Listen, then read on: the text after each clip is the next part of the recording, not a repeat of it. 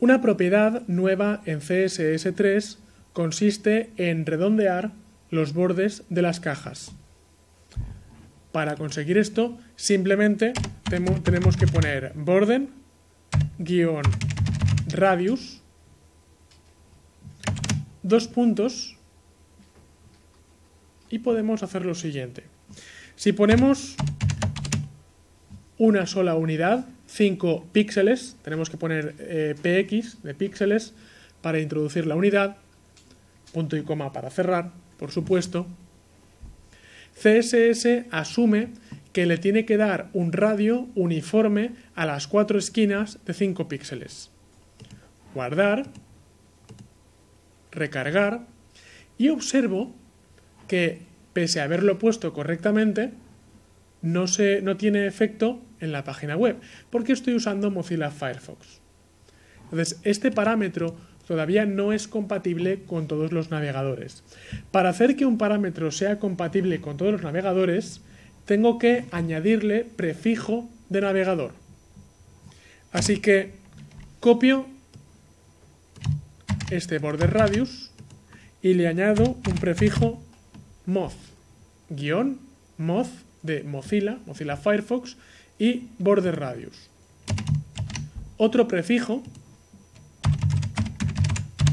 WebKit para aquellos navegadores basados en WebKit, que a día de hoy los dos más famosos son Chrome y Safari.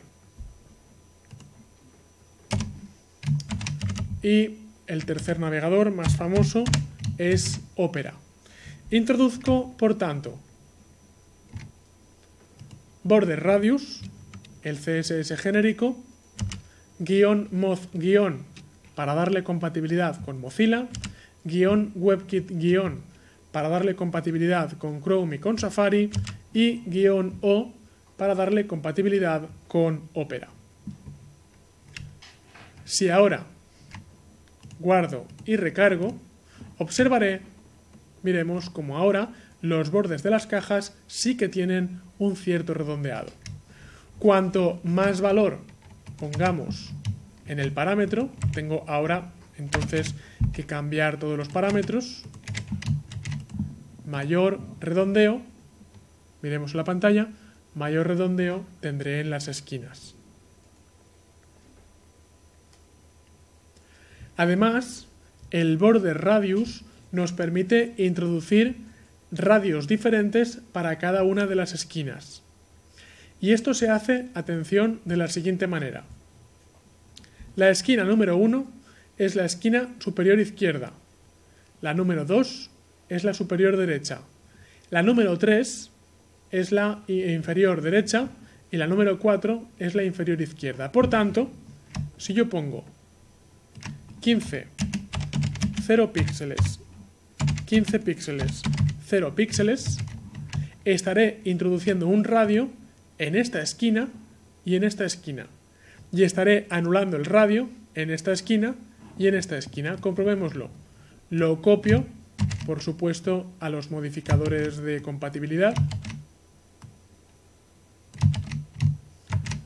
Lo salvo, lo recargo y observo como tengo un radio en esta esquina, porque es la número 1, de 15 píxeles, 0 radio en esta esquina, número 0, 15 píxeles de radio en esta esquina, que es la número 3, y 0 píxeles de radio en esta esquina, que es la número 4. Por eso, si ponemos un solo valor, se asume que el valor se aplica a las cuatro esquinas y si ponemos cuatro valores, podemos especificar manualmente los radios de empalme de cada esquina.